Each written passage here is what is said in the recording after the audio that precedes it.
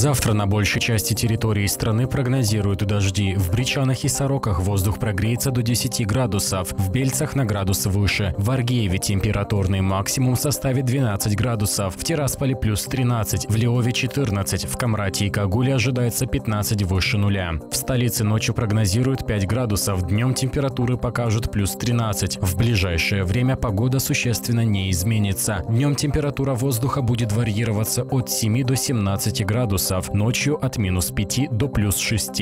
И о погоде в Европе. В Мадриде переменная облачность и 22 градуса. В Париже прогнозируют 11 выше нуля. В Лондоне дожди и на градус выше. В Берлине воздух прогреется до 7 градусов. В Риме переменная облачность и плюс 17. В Вене 11 градусов. В Праге переменная облачность и 7 выше нуля. В Варшаве такая же погода и 5 градусов. В Будапеште плюс 12. В Белграде термометры покажут 13 градусов. В Афинах переменная облачность и 22 градуса. В Анкаре ясно и на градус ниже. В Бухаресте температурный максимум составит 15 градусов. В Киеве переменная облачность и 8 выше нуля. В Москве на 1 градус ниже.